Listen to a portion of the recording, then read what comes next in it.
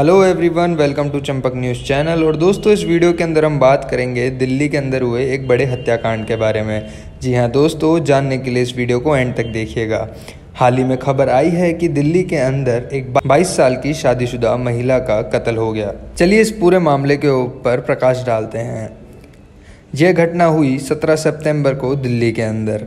एक पति पत्नी किराए के घर में रहते थे दिल्ली के मौजपुर एरिए के अंदर। पुलिस को इसकी खबर मिली 17 सितंबर को आठ बज के पचास मिनट पर सुबह के। उन्हें पता चला कि स्ट्रीट नंबर तेरह, विजय मोहल्ला, मौजपुर में ये घटना हुई है, जहाँ पे एक औरत का कत्ल हो गया।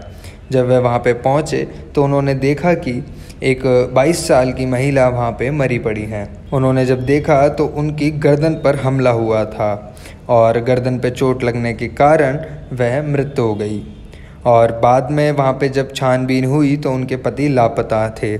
उनके पति की अभी भी खोजबीन जारी है। शक के दायरे में भी उनके पति हैं, लेकिन जब तक वह मिल नहीं जाते, तब तक इस बात की पुष्टि नहीं हुई है।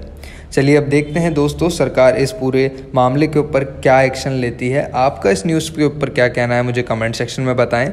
और इसी टाइप का और कंटेंट जानने के लिए चैनल को सब्सक्राइब करें एंड वीडियो को ज़्यादा से ज़्यादा शेयर करें। Thank you so much.